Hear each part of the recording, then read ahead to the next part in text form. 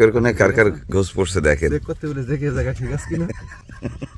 ভাই ভাজ আছে দেখেন। আবার দেখি। দেখেন ভাজ আছে। ওরে কি পরিবার আসছে গুড। সেনাবাহিনী। ও বড় ভাই জঙ্গলে আসলি? হ্যাঁ। ওই আমাকে একটাই কাজ সেটা হচ্ছে জাল আর হলুদ ছাড়ে থোয়া। ওরে বাবা ওরে বাবা। ওই একা দুয়ের নিচে দেন আর হলুদের পরে টার্গেট করব কি?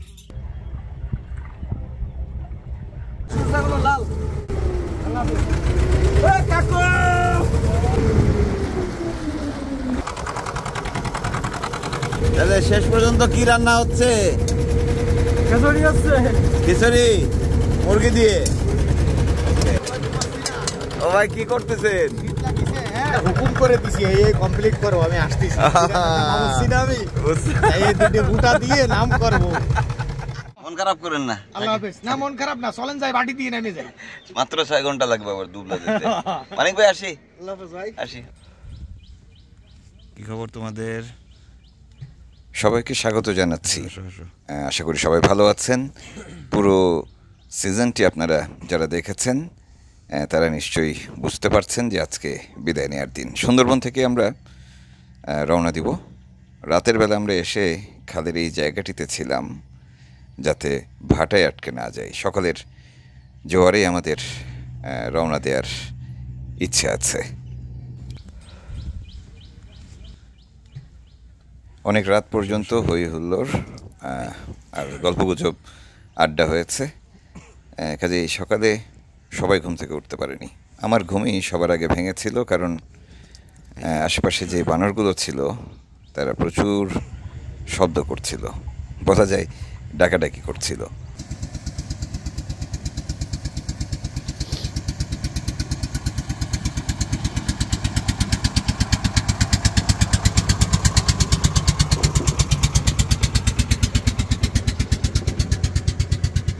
সকালবেলা বিশেষ করে শীতের শেষ দিকে কিছুটা কুয়াশা থাকে, সেই কুয়াশা ভেদ করে সূর্য ওঠার চেষ্টা করে। কখনো উত্তরা বাতাস, কখনো দক্ষিণা বাতাস সব মিলিয়ে একটা অদ্ভুত রকমের পরিবেশ তৈরি হয়। খুব ভালো লাগে। মানে আপনার খুব একটা ঠান্ডাও লাগবে না, গরমও লাগবে না। এর মধ্যে নৌকা বেয়ে যাওয়ার শব্দ, পানির শব্দ, বাতাসের শব্দ সব কিছু মিলিয়ে অদ্ভুত সুন্দর একটি পরিবেশ তৈরি হয় সুন্দরবনে। আমাদের ক্যাপ্টেন বেদাত সর্দার ঘুমাচ্ছেন, মানিক ভাই উঠেছেন আর শহীদুল কাকা উঠেছেন। ঘুম বাংলো সবার? হুম? সবার ভাঙছে কিনা জানি না তো আমার তো ভাঙছে কিন্তু সর্দারের এখনও ভাঙেনি। সকাল দশটা বাজছে। হুম, সকাল আটটা নয়টা দশটা যাই বাজুক।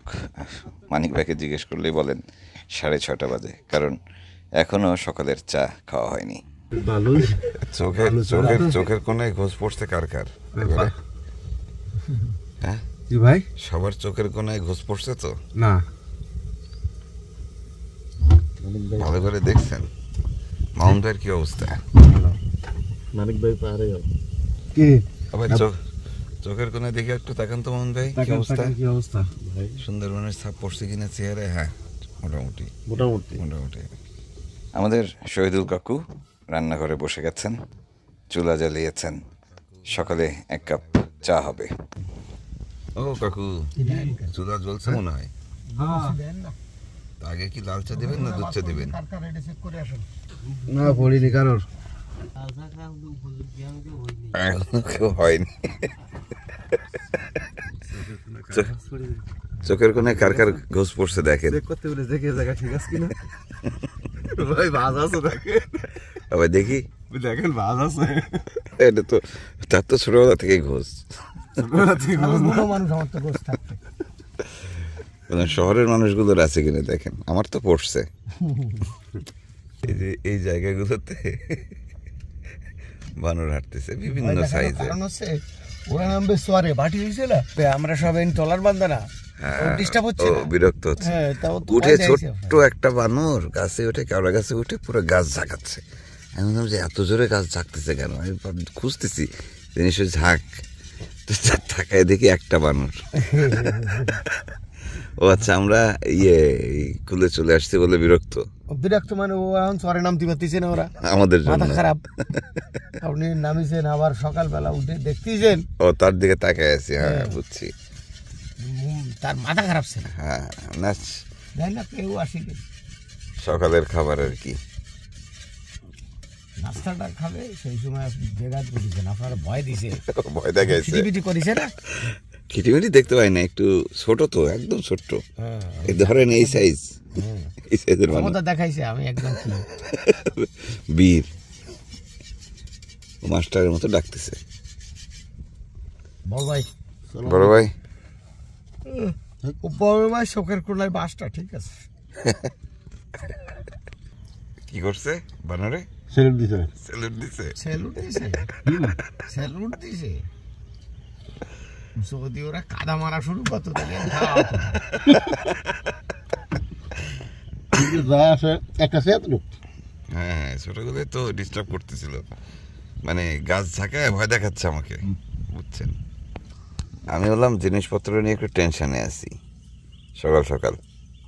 দেখা যাচ্ছে একজন এসে লাভ দিয়ে উঠে দেখা যাচ্ছে কোনো একটা ব্যাগ বুসকা নিয়ে দিল দৌড়। দেয় তো। দেয় ভাই। নিয়ে দৌড় দেয় তো। সব ঠিক করে রাখে। কি? ঝাল আর হলুদ। হ্যাঁ। ওই ঝাল আর হলুদের পরে টার্গেট করব কি তাই নাকি? ঝাল আর আচ্ছা হ্যাঁ। ওদের গায়ে তো এক ধরনের উকুন হয় না দেয় না উকুন গাছে, ওই হলুদ মাখে ওরা। তাই নাকি? হ্যাঁ আর ঝাল মাখে। আর মাখে সব খুব কায়দা করে। তাই নাকি? আমি দেখিনি তো। খুব শান্তি করে মাখে। জঙ্গলে আসলি হ্যাঁ। ওই আমাকে একটাই কাজ সেটা হচ্ছে জাল আর হলুদ ছেড়ে থোয়া। ও বুঝছি যাতে কোনোভাবে না নিতে পারে। মানে ও তো আসবেই আসতেই পারবে ট্রলারে। ওই যে ওই যে দেখেন ওই যে কাঁকড়া খাচ্ছে। ওই যে দেখেন দেখেন দেখেন একদম আপনার মতো চেয়ার ওর ওই সামনে দাঁড়িয়ে ওইখানে দেখেন সাদা সাদা। আপনার দাঁড়িয়ে খেলে সাদা সাদা। বন্ধু। বন্ধু থাক থাক ডিস্টার্ব করেন না। মাস্টার!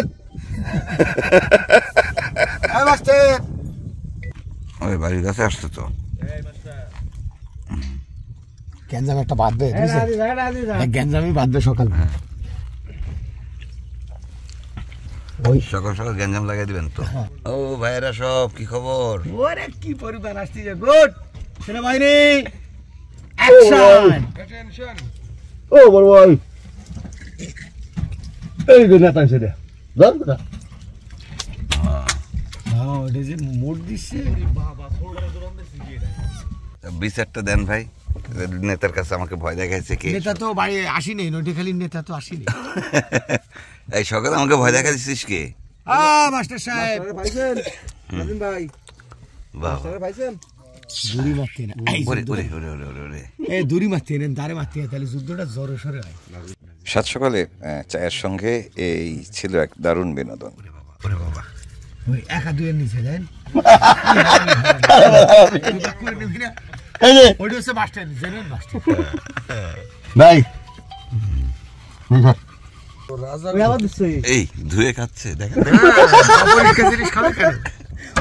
যাবে আমার দিন না। ও যাবে না যাবে দেখেন দেখেন ধুয়ে খাচ্ছে আবার। হ্যাঁ। ধুচ্ছে আনো। হুম। ধুচ্ছে ওই। এখনও ধুচ্ছে। কি পয় পরিষ্কার লোক সে। বদ্ধ লোক হ্যাঁ আল্লাহ গেল আরে। ওগুলো পানি বন্ধু। ওকে বাচ্চা সহ নামবে পানিতে? বাচ্চা মনে মনে নেই। ও আচ্ছা কাছে বাচ্চা। বাসা তো রইছে ধরেই রইছে মুড়ি দিতে হবে কাকু আর মুড়ি দিলে কি হবে? গেঞ্জামটা ঠিক হবে। মুড়ি দিলে কি হবে ভাই? গেঞ্জাম বাঁধবি? একজনে টুপলা নিয়ে দৌড় দিলেই বাঁধিয়ে গেছে। আর মুড়ি আর একটা ছড়াবে। হ্যাঁ। মাথা খারাপ হয়ে এত খাবার তুই একা নিয়ে দৌড়ছি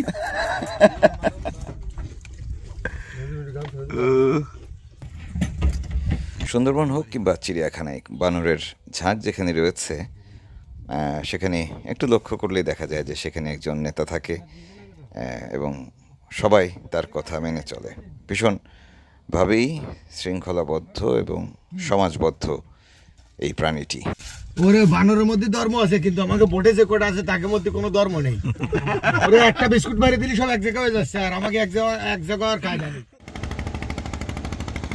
রাতের ভাটায় আমরা অনেকটা পথ সরে গিয়েছিলাম এখন আবার ট্রলার চালিয়ে আদরকোলের যেই খালের মুখ, সেখানে যাচ্ছি। সেখানে অনেকে আছেন, তাদের কাছ থেকে বিদায় নিব। ভাই, মাছ কিরম হলো? ভালো হয়নি?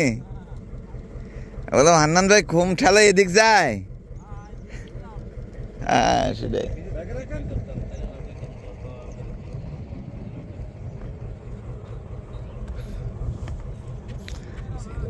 কারা?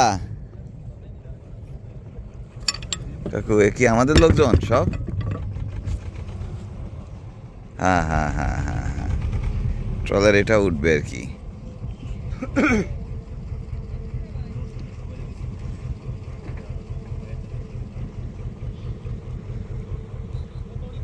খাওয়া দাওয়া হয়েছে সকালে? হ্যাঁ ডাক্তার সাহেব, বাড়ি যাচ্ছেন? বাড়ি যাচ্ছেন? আমার কাকার কাছে আমাকে দেখায়নি। কাকা? বিলালের ভাই মুনাফেক মুনাফেক। বড় বড় চাকা চিংড়ি নাকি আপনার কাছে সব? এই দেহের অবস্থা। ইরে বাবা। আমাকে- কাকার মন খারাপ নষ্ট করে ফেলছে আমার। একটু কালার ডিসকালার ডিসকালার হয়ে গেছে। কি ইয়ের জন্য বরফের জন্য? দেওয়া যাবে ভাই? ঢুকতেছে? এই একটার পরে করে দেবেন? মৌলা ভাই কদ্দূর? হ্যাঁ আসার কথা। গন শেষ হয়ে গেছে, ভাইদের মন টিকতিস না? একটু আগে যে চিংড়ি মাছগুলো দেখছিলেন, সেগুলো হচ্ছে টাইগার চিংড়ি এবং চাকা চিংড়ি। আরও সাদা মাছ রয়েছে অনেক রকম, কিন্তু মাছ যতই ধরেন, যত রকমের বা যত বড় মাছই আপনার জালে ধরা পড়ুক, সেই মাছগুলোকে ভালোভাবে তরতাজা অবস্থায় লোকালয়ে পৌঁছানো, আড়তে পৌঁছানো সেটি বড় কথা। সমস্যা হয়ে যায় যে একেবারে পর্যাপ্ত এবং সময় মতো মাছে বরফ দেওয়া না গেলে মাছের ব্যবসায়ীদের মাথা ঠিক থাকে না। রীতিমতো মানে ভীষণ বড় লোকসানে পড়ে যেতে হয়। তাদের অনেক সময় পুরো সিজনের লোকসান হয়ে যায়।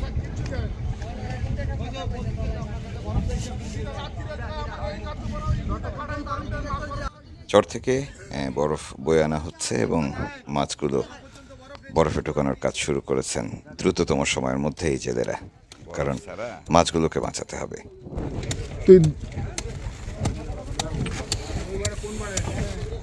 গন শেষে যখন জেলেরা বাড়ি ফেরার তারায় থাকেন, তখন এই কাজগুলো গোছাতে বেশ বেগ পেতে হয় এখানকার মানুষদের। আমি রওনা দিচ্ছি।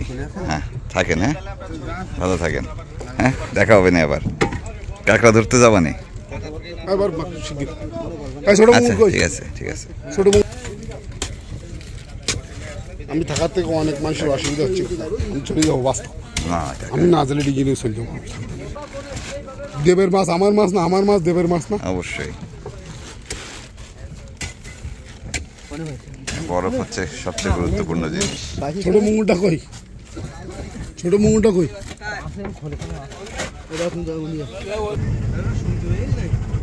ভাটা শেষ হয়ে সাগরে জোয়ার লেগেছে, জেলেরা ফিরছেন এদিকে, আমরাও প্রস্তুত যাওয়ার জন্য। সাড়ে ছয়টা বাজে না? দশটা একত্রিশ বাজে। আগে যখন ধরেছিল না লোক তো সূর্য থেকে টাইম বলতো এখন সূর্য দিকে দেখা যায় সূর্য হলো লাল কাকু! কাকু দুবলার চর থেকে আমরা মংলা যাব এরই মধ্যে ট্রলার ছেড়েছি। আমরা ছেড়ে যাচ্ছি সুন্দরবনের মানুষদের দুবলা চরের মানুষদের। এই মুহূর্তে আমরা পার হচ্ছি সুন্দরবনের আদরকোলের মরণচর ও ওই যে বস্তায় করে রাবিশ যাচ্ছে। রাবিশ মানে হচ্ছে ওই যে হাঁস মুরগি মাছের খাবারের জন্য যে শুটকি হ্যাঁ ভালো প্রোটিন। তারপর গন শেষ তো? গন শেষ, সবাই বাড়ি যাচ্ছে। অনেকে জিজ্ঞেস করেন গন মানে কি? গন হচ্ছে চাঁদের হিসাব আর কি। জোয়ার, ভাটা অমাবস্যা, পূর্ণিমা। এর সাথে সময় মিলিয়ে মাছ মারার যে সময়টুকু, সেটা হচ্ছে গণ।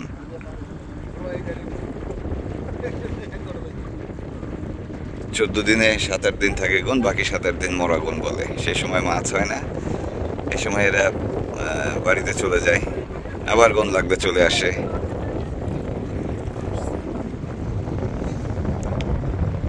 দেখ আবার কবে আসি? কে জানে? চর থেকে বিদায় নিচ্ছি।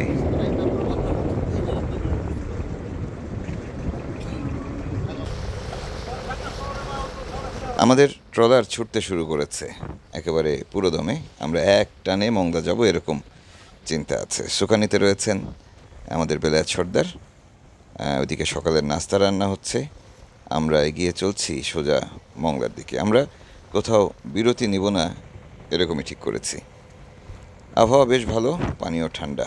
একের পর এক পর্যটকবাহী লঞ্চ দেখছি। লঞ্চের নাম হচ্ছে নীলকমল।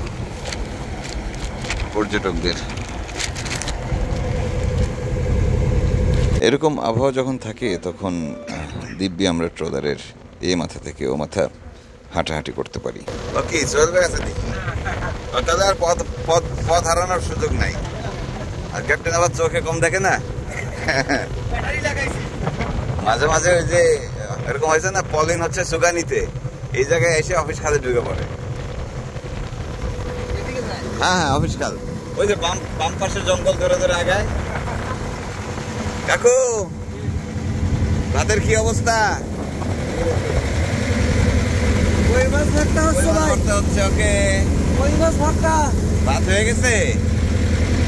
ঠিক আছে। এই চলতি পথে আমাদের দুবেলার খাবার হবে সকালের নাস্তা আবার দুপুরের খাবার।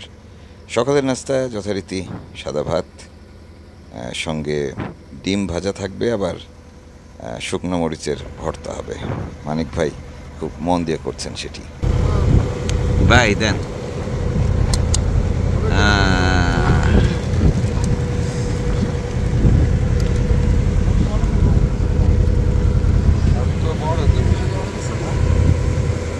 বাজে কয়টা একটু সবাই দেখেন তো ঘড়িটা। এগারোটা সাঁত্রিশ বাজে। ঠিক আছে। সব কোম্পানির ঘড়িতে একই বাজে।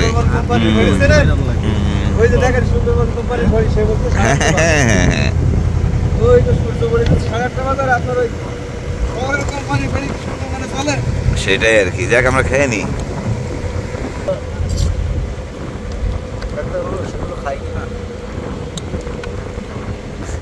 কয়টা বাজে? বারোটা?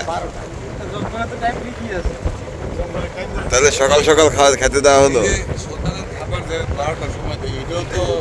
তাও কি শাল ভর্তা ডিম ভাজি? মানে আইটেম দেখছেন? মানে অনেক রান্না বান্না করে দিছি আর কি বুঝছেন?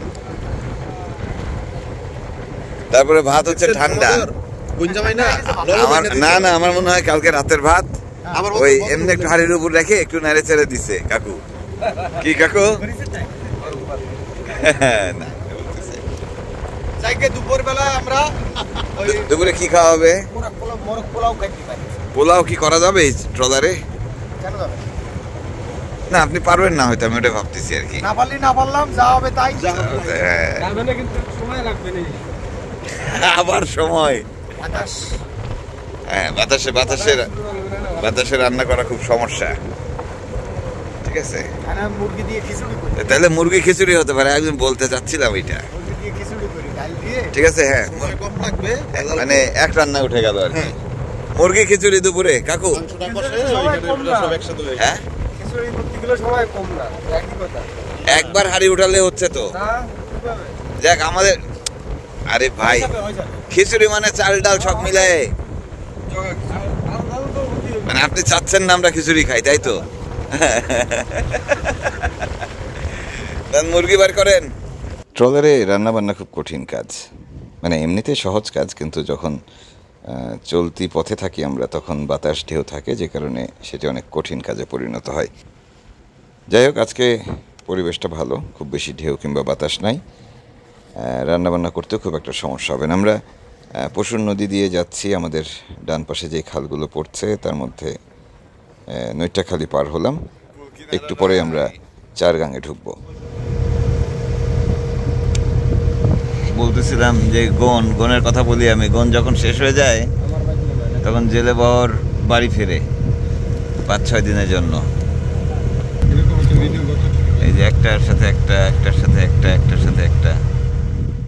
সময় যত এগিয়ে যায়, অর্থাৎ শীত থেকে বসন্ত, ফাল্গুন পড়লে ফাল্গুনের মাঝামাঝি থেকে শুরু করে চৈত্র মাসে এসে এই জায়গাটিতে আসলে নৌকা কিংবা ছোট ট্রলার নিয়ে চলার কোনো উপায় থাকে না। ইতিমধ্যেই একটু একটু করে বাড়ছে পানির রোলিং।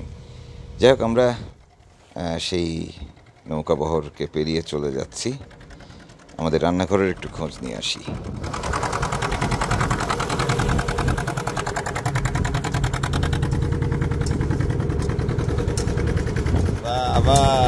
দেখো তাহলে শেষ পর্যন্ত কি রান্না হচ্ছে? খিচুড়ি আছে খিচুড়ি মুরগি দিয়ে? মানিক ভাই, আপনার সাথে চোখ পাল্টি লোক ঘুমাচ্ছে। ও ভাই, কি করতেছেন? হ্যাঁ। হুকুম করে দিছি কমপ্লিট আমি দিয়ে নাম অনেক লম্বা পথ। মাঝ পথে আছি আমরা।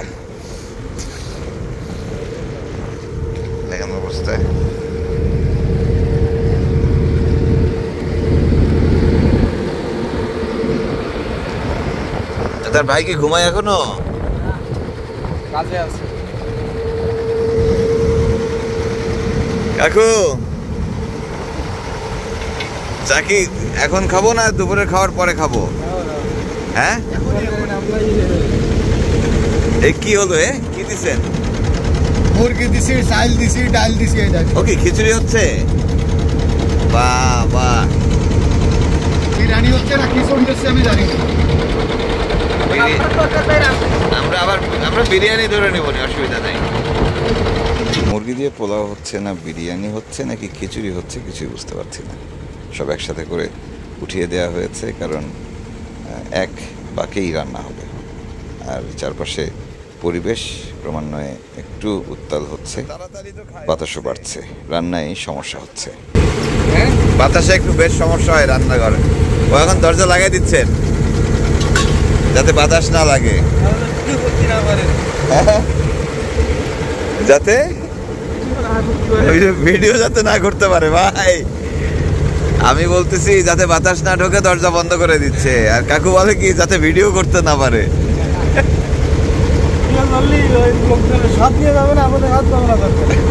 লোকের স্বাদ নিয়ে যাবে। সেটাই। কারা এরা?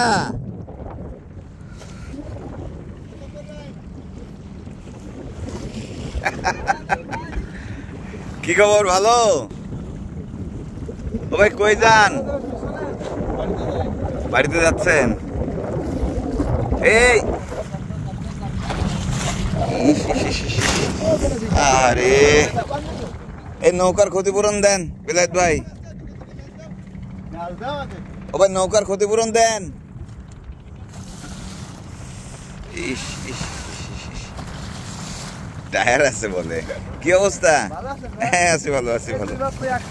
কোনো ভালো কি মাছ টাছ হলো? ওই যে খারাপ না একবারে বাহ দারুণ ব্যাপার। লক্ষণ ভাই।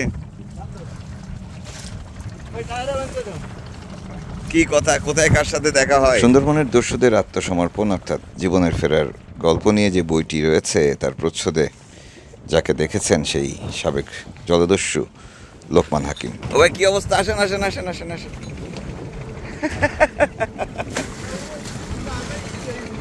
বেলায়েত সর্দার নৌকায় বাড়ি মারছে।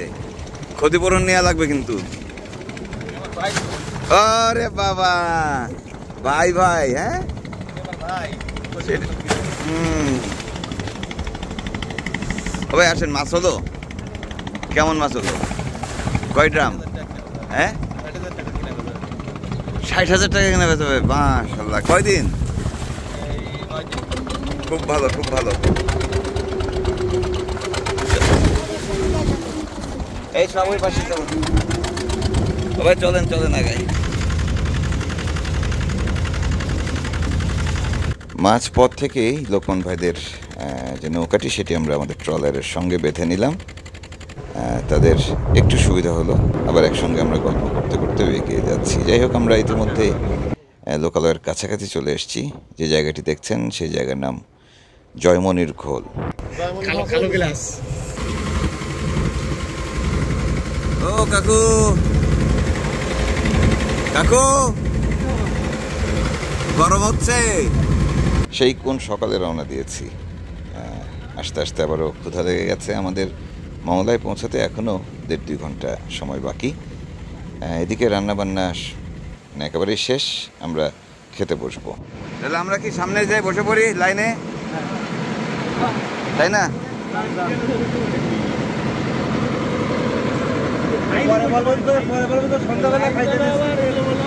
কি? ওরে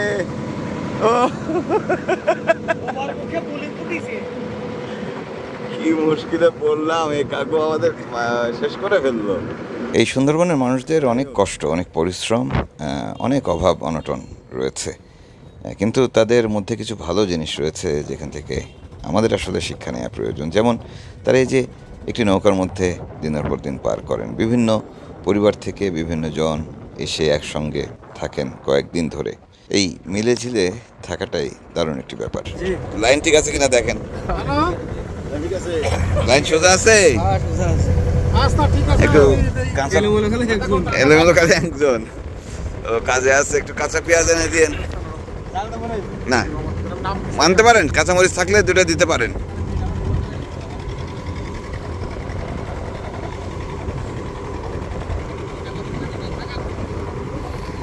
আমাদের গোছ গাছ চলতেছে। আমাদের সফর শেষ। মঞ্জু সফর শেষ হয়ে গেল ভাই। মন খারাপ না মন ভালো?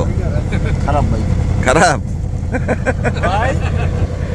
বলতেছে আমাদের সফর ফুরে গেল। জি ভাই। এখন তো আর ভালো লাগছে না। ভালো লাগছে না। খাবার বাড়তেছে। আমাদের দুপুরের খাবার। নেটওয়ার্কে আসছি আমরা একটু আগে। চলেন খেয়ে নি মঞ্জু করে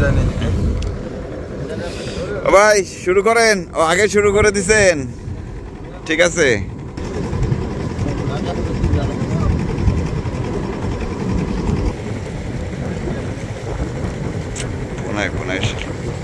খাওয়া দাওয়া শেষ হয়েছে, আমরা আরও প্রায় ঘন্টাখানিক পথ পেরিয়ে আসলাম চিলাবাজারে। চিলাবাজারে যে ঠোঁটাটি রয়েছে সেখানে মাত্র এক মিনিটের জন্য একটু ট্রলারটি ফিরাবো আমরা। ও কি জাভেদুল সাহেব দেখি। এই চিল্লা বাজার থেকে ছোট সর্দার আমাদের ট্রলারে উঠবেন যাবেন মংলায়। মংলায় সম্ভবত কিছু কেনাকাটার কাজ আছে তার। জাভেদুল সাহেব আসসালামু আলাইকুম। ওয়ালাইকুম আসসালাম কোন? ভালো আছো? আচ্ছা ভালো তুমি কই যাচ্ছ? মোবাইল ওর ওর জন্য আর ওর জন্য স্যান্ডেল কিনতে ওই কেস কিনতে কি? সাদা কেস সাদা কেস বিশাল ব্যাপার। কালো কেস হলে হবে না সাদা কেটস কিনতে হবে। ওই পিছনে কে? ওই চশমা চকে দেওয়া? হ্যাঁ? শাহিদুল ভাই। চশমা চকে দেওয়া পিছনে কে? দেখা হবে আবার। থাকেন। ওই যে জ্যাকেট কে চশমা চকে দেওয়া কে আবারও রওনা দিয়েছি চিলাবাজার থেকে। এখন সোজা মংলা। মংলায় আমাদের গাড়ি রাখা আছে। সেখানে নেমেই একটু ফ্রেশ হয়ে আমরা রওনা দেবো ঢাকার উদ্দেশ্যে। কেস কিনে দেবে আব্বা?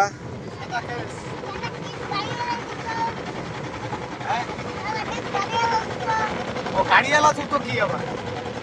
গাড়িওয়ালা জুতো আছে নাকি আমার কোন জায়গায়? আমি দেখিনি ও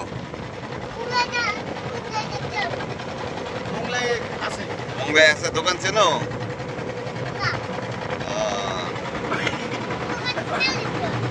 দোকান চেনাই দিতে হবে। কার? ওই টিভি। TV TV. বিজ্ঞাপন দেখায়। ওই যে চাকাওয়ালা জুতো। হ্যাঁ হ্যাঁ ও বুঝতে পারছি এবারে। স্কেট করে যেটা। তুমি চালাবা কোথায় আব্বা? তোমার ওখানে রাস্তা তো ঠিক নেই। বালির মাঠে চালাবে। তোমার এরকম দাদা থাকলে বালির মাঠেই চালায় নিবে তোমাকে দিয়ে। দেখা আমাদের সফর শেষের দিকে। আমরা চিলাবাজার থেকে একটু ব্রেক দিচ্ছি কয়েকজন নামছে। ছোট সর্দার উঠছে। এখন আমাদেরকে মংলায় নামায় দিয়ে আসবে। মংলায় নামায় দিয়ে চলে যাবে।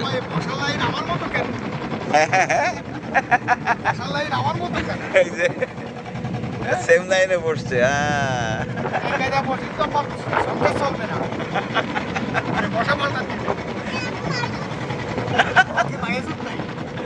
ওরে বাবা রে বাবা। ওই সামনে মংলা। সবাই ভালো থাকেন। আবার ফিরবো। সুন্দরবনে।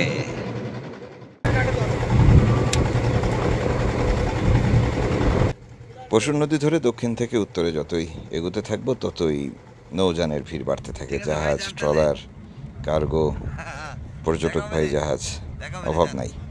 যাই হোক আমাদের সেই লোকমান ভাইকে বিদায় দিচ্ছি আমরা। লুঙ্গি লুঙ্গি লুঙ্গি। লুঙ্গি ছিঁড়ে গেছে কি করা যাবে আর?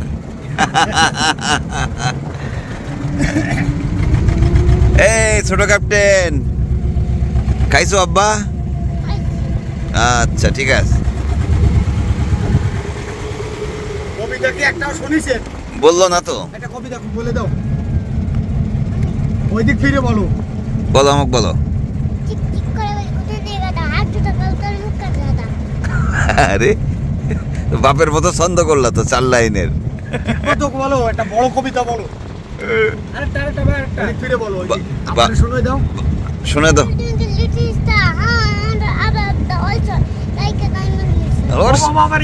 ওর খুব তারা খুব তারা সময় নেই। ওই যে আমাদের ট্রলার আটকায় গেল মনে আছে আপনাদের এখানে? যাই হোক চলে আসছি আমরা। মুম্বাই। চলেন। কাকা ট্রলার বাদাইছিল ওই পাশে যাওয়ার সময় মনে আছে? হ্যাঁ আমরা এই যে এখান থেকে দেখলাম এই যে এই কোনায় বাদাইছি চলেন চলেন চলেন চলেন।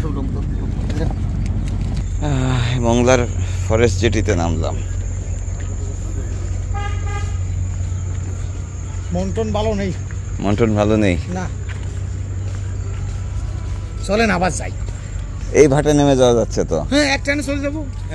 এই ছয় ঘন্টায় আবার দুবলা পৌঁছাতে পারব আমরা। কিন্তু ভাই হ্যাঁ।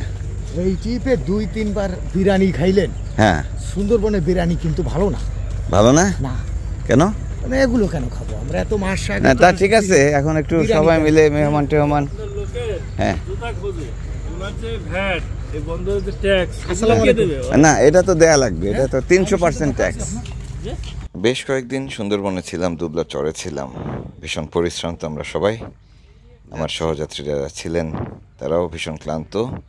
আবার যারা সুন্দরবনে ফিরে যাচ্ছেন আবার তারাও ক্লান্ত। হ্যাঁ। ও মিলতাল হচ্ছে বাকিটু বাকিটা টঙ্গি দিয়ে মারবে ভাই। এখানে যা মারছে তো মারছে। টাটা। টাটা দিয়ে দাও। টাটা।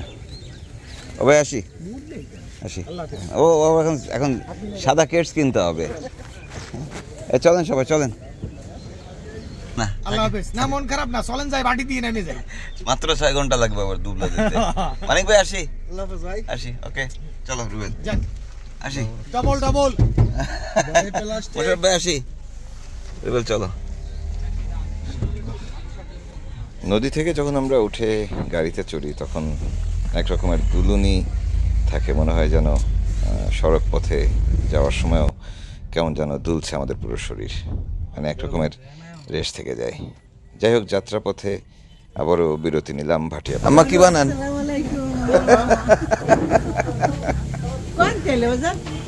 সুন্দরবন থেকে আসলাম। সুন্দরবন। কি কি রান্ধেন কি এটা? এটা বুড়ি ভুড়ি আমি খাই না। খাই না? না না না। পরোটা ভাই অর্ডার করেন অর্ডার করেন এনে এনে কি রান দেন? গরম হচ্ছে ঠিক আছে। করেন করেন কাজ করেন কাজ করেন কাজ করেন। আমরা না? ভাত না একটু পরোটা খাব। সন্ধ্যায় নাস্তা করে আমরা বাড়ির পথ ধরেছিলাম। যাই হোক সিজন পনেরো শেষ করছি। আজকের এই পর্বের মধ্য দিয়ে আপনারা দুবলার চরের মানুষদের বিভিন্ন ধরনের গল্প শুনলেন দেখলেন খবর তোমাদের? সুন্দরবনের কিংবা বঙ্গোপসাগরের জেলেদের জীবনচিত্রও কিছুটা দেখানোর চেষ্টা করেছি।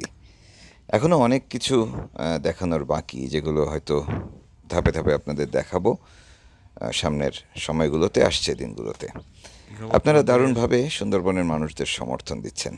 আশা করব যে সুন্দরবনে যেই মাছের দাম নিয়ে যে যুদ্ধ চলছে তার অবসান ঘটবে জেলেরা তাদের মাছের ন্যায্য দাম পাবেন এবং যেদিন থেকে সুন্দরবনের জেলেরা মাছের ন্যায্য দাম বাজার দাম পাবেন আমি বলব যে সেদিন থেকে সুন্দরবন সুরক্ষিত থাকার পথে আরেক ধাপ আগাবে।